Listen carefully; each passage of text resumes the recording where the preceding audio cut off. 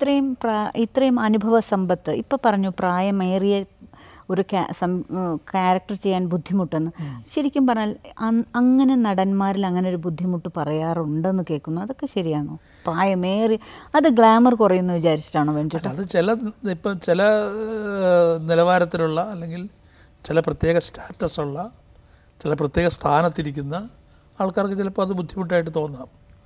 അപ്പോൾ എന്നോട് പലരും പറഞ്ഞു ഈ സിനിമയിലൊക്കെ നമ്മൾ പ്രായത്തിൽ കവിഞ്ഞ വേഷം ചെയ്താൽ പിന്നെ അതിനെ വിളിക്കുള്ളൂ ആളുകൾ അതുകൊണ്ട് അത്തരം വേഷങ്ങൾ ചെയ്യരുത് എന്നൊക്കെ പറഞ്ഞു. അപ്പോൾ അത്ര ഭയമൊന്നുമില്ല. കാരണം ഒന്നാമത് സിനിമ നമ്മുടെ ഉപജീവന മാർഗം ഒന്നും ആകുമെന്നൊന്നും ഒരിക്കലും വിചാരിച്ചിട്ടില്ല. വിളിച്ചു പോയി. അരവിന്ദേട്ടൻ ആദ്യം വിളിച്ചു പിന്നെ ഭരതേട്ടൻ വിളിച്ചു പിന്നെ പപ്പേട്ടൻ വിളിച്ചു.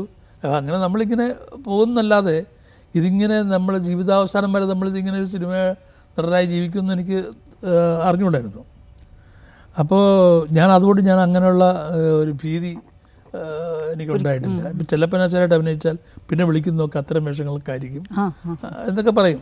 കുറേയൊക്കെ ശരിയാണ്. കാരണം അടൂർ ബാസിയെ പോലുള്ള മിടുക്കനായ ഒരു സമർത്ഥനായ ഒരു നടനെയൊക്കെ അറിയാതെ പോയി. അറിയാതെ പോയി എന്ന് വെച്ചാൽ ആ പിന്നെ അതിലോട്ട് ടൈപ്പിഡായി പോയി കോമഡി ചെയ്യാൻ മാത്രം.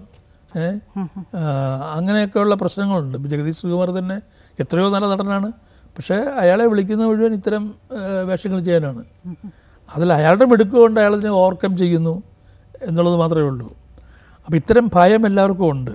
അതുകൊണ്ടാണ് പലരും ഇപ്പം സ്ത്രീകൾക്കാണ് പ്രത്യേകിച്ചും അതുള്ളത്. അതെ അതെ. ഇപ്പം കവിര് പൊന്നോ ചേച്ചിയെ പോലുള്ള പ്രേമസീറിനേക്കാൾ പ്രേംനസീറിനേക്കാൾ എത്രയോ ഇളയതാണ് ചേച്ചി. പക്ഷേ ചേച്ചി എത്രയോ കൊല്ലം മുമ്പ് പ്രേംനസീറിന്റെ അമ്മയായിട്ട് അഭിനയിച്ചു.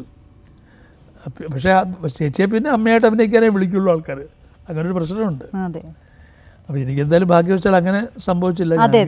വ്യത്യസ്തങ്ങളായിരുന്നു. ശരിക്കും തികച്ചും തികച്ചും വ്യത്യസ്തമാർന്ന കഥാപാത്രങ്ങൾ.